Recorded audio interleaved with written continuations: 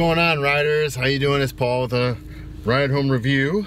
Uh, hopefully, y'all can hear me right now. Um, yep, I'm back, and uh, uh, this this week we uh, I watched The Darkest Hour, uh, directed by Joe Wright, uh, starring Gary Oldman, Lily James, Kristin Scott Thomas, Ben Mendelsohn. Uh, before we carry on, uh, don't forget to subscribe to our YouTube channel, uh, like us on Facebook, follow us on Instagram. So, yeah, we, we can uh, catch up on all the stuff there. Right now, as you know, I'm going through all the uh, best of Ride Home Reviews awards show coming up on Saturday. Anyway, um,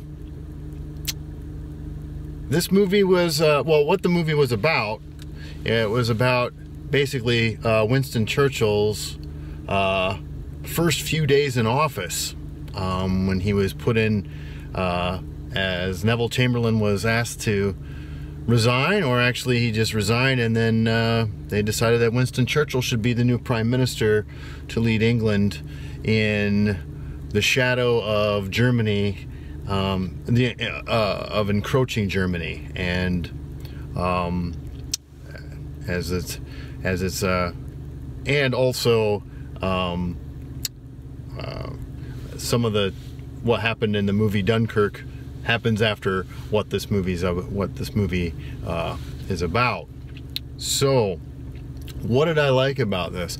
First of all, uh, the makeup for Gary Oldman was absolutely outstanding. They did a great job of transforming. You know, if you didn't look at him in the eyes, uh, you wouldn't see Gary Oldman there. Um, and so they did a wonderful job at transforming Gary Oldman into who he is, into this uh, uh, dynamic historical figure um, from England. Um, next, uh, Gary Oldman's performance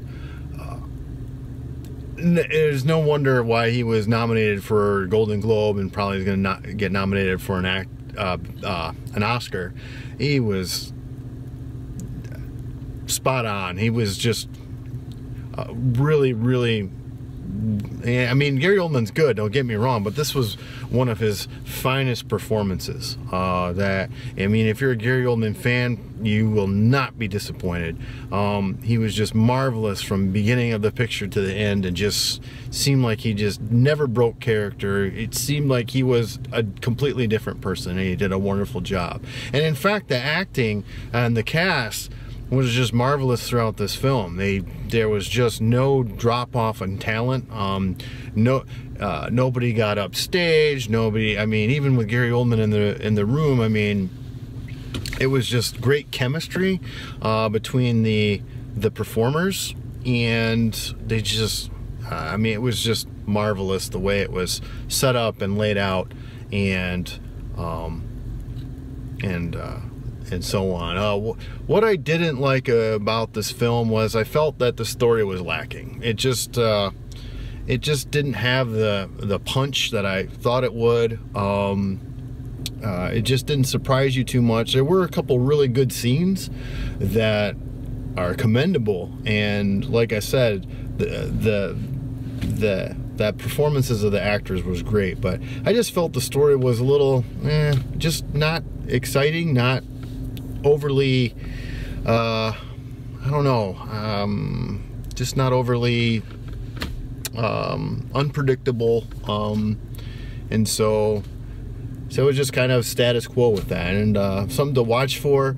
Um, there's a lot of aerial stuff that is really cool that they do with the cameras and and looking up and looking towards the sky so check that out and and see how how that fits along with the narrative um, but all in all, it's a pretty decent movie, great performances. Um, not the strongest of stories, but check it out for yourself. And remember, follow us on all the social medias, like us on Facebook, uh, subscribe to me on YouTube, follow me on Instagram, and remember the awards, Facebook Live, Saturday. I know that's going to be dated as soon as this video goes out.